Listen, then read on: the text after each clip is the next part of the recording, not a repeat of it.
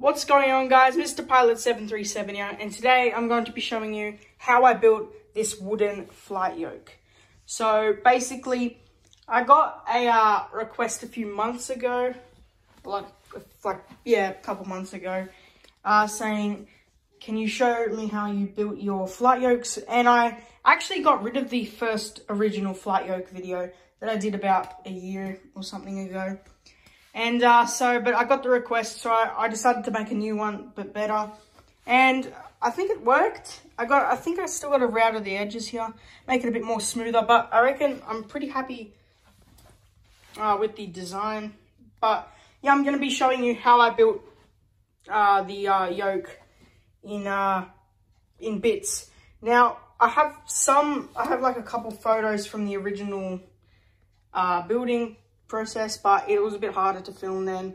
So I'll just show you in bits what are different parts, what the, the lengths are and all that. So basically for the yoke here, for the uh, for the yoke bit, I basically I cut out a board and then I drew on the board like a, a flight, like a yoke style. You can print one offline and stuff. I just did one in my head and uh, basically you uh, get a jigsaw and you uh, cut it out. Then you sand the inside to make it all smooth and that. You can cut out some notches here, like I did on this side. Now you can also use these um, little brackets here, uh, angle brackets, and they they are used as a good like a the thumb holders, thumb um, what do you call them? Like the the thumb resting, the thumb pads, whatever you call them.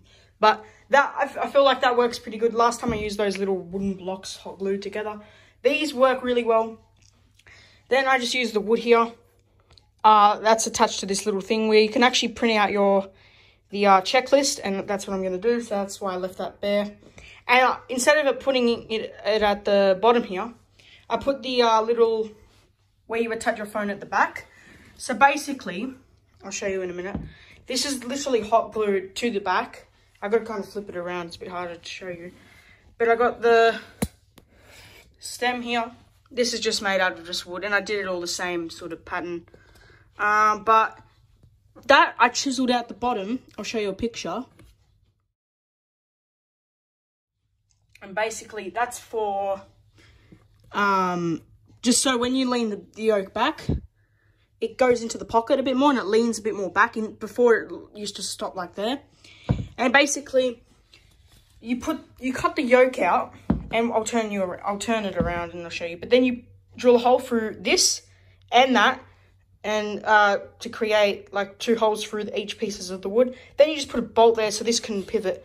And then down here, all it is is a hinge. So it's literally a board, a stick, and a yoke piece cut out. It's really simple.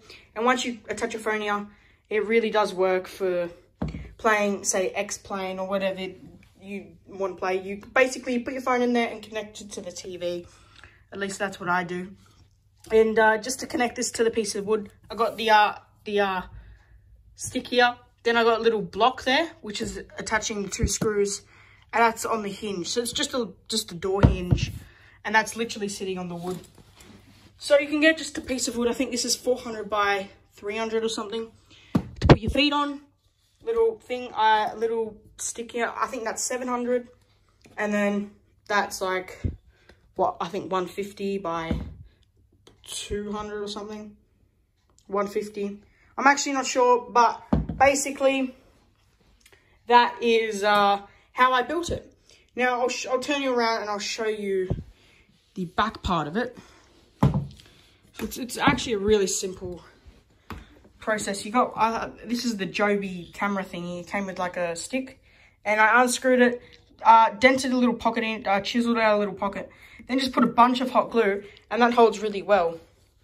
And basically this is what I'm showing you about. I got two nuts there, which literally put screw on and then screw on through the holes and then you can literally just turn it.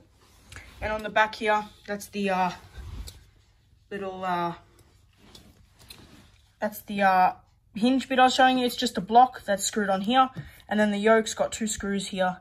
And, and that's what literally just keeps it in place. So if you like this video, remember to subscribe.